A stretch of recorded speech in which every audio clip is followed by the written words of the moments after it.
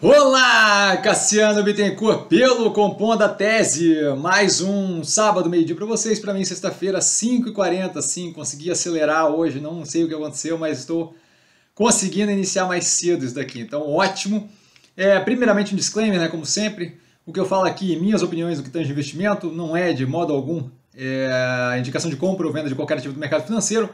De qualquer forma, Hoje um compondo a tese super tranquilo, compondo a tese, para quem não conhece, é onde eu falo o que eu tenho visto de mais relevante nesse, durante a semana.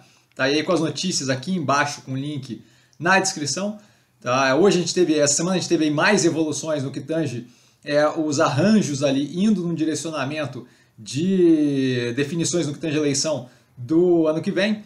Porém, entretanto, todavia, eu não vi nada é, que de fato fosse é, mais informações é, sólidas que pudessem ser trazidas aqui como novidade. Então, quem tiver algum nível de curiosidade de onde estamos nisso, no último Compondo Tese eu justamente comentei a subida ali do Moore e a evolução dele consolidando ele. Terceira vez a gente viu alguns movimentos nessa direção, Bivar falando de possibilidade de participar junto é, União do Brasil, com Podemos, com por aí vai.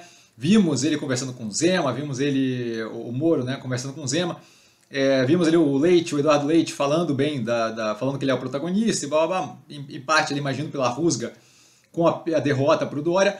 Digo com o Dória, inclusive, é, comentando ali a vontade de conversar com ele, mas eu ainda não vi nada nessa semana que chamasse atenção no sentido de sólido, consolidado de algo. Então a gente passa é, justamente ali para outros pontos. Né? Um deles que eu queria citar é justamente da série é, Cavaleiros do Apocalipse.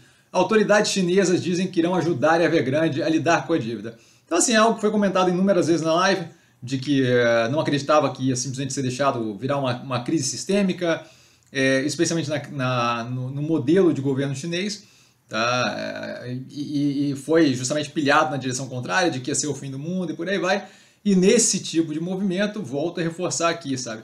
É, a gente vale a pena cuidar com quem a gente escuta e com o burburinho todo. Agora, aparentemente, as autoridades chinesas já admitiram, inclusive, é, auxiliar ele naquele negócio. Então, é, será que era para todo aquele pânico? E cadê o risco sistêmico? Cadê o fim do mundo? E cadê a bolha estourando? E, é, blá, blá, blá, blá, blá. Não, não, não, chegamos nesse ponto, aparentemente.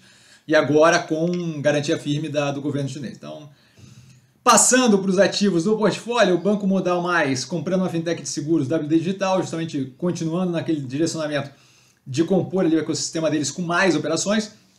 A TAG transporte associado de gás, que é, tem participação ali da Engie, né? É, abrindo ali, abrindo rede de gasodutos para mais sete clientes em 2022. Então é um movimento interessante, nada demais, mas comercialmente acho que vale a pena ter noção desse tipo de coisa acontecendo. A Ambipar lançando um aplicativo, calma, não é compra, Ambipar dessa vez não é compra. Lançando aplicativo com tecnologia de blockchain para pessoas físicas compensarem emissões de carbono. Isso daí eu acho que é um primeiro passo deles justamente como modelo ali para esse processo de criação de é, blockchain para negociação de crédito de carbono e por aí vai, que é um projeto que eles têm com a compra de uma fintech recentemente, muito interessante nesse direcionamento.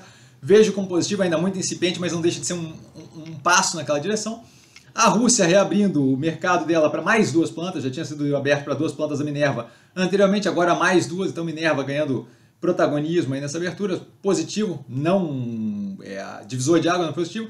E por último aqui, os acionistas do Banco Pan e Mosaico aprovaram a fusão, então a gente deve de fato ver a substituição de cada ação da Mosaico por 0,8 ações do Banco Pan. É, volta a reforçar né, o que a gente tem comentado, aquela questão de que o, o, o Mosaico não é propriamente mais Mosaico, é justamente um pedaço do Banco Pan então vale a pena, dado agora justamente com essa aprovação, então vale a pena a gente cada vez mais pensar na operação Mosaico como justamente uma participação da operação do Banco Pan e não o contrário, porque é ali que a gente vai estar atrelado no que tange precificação. Por hoje, eu fico por aqui, como eu falei para vocês, muito tranquilo. Precisando de mim, estou sempre no arroba investir com sim no Instagram.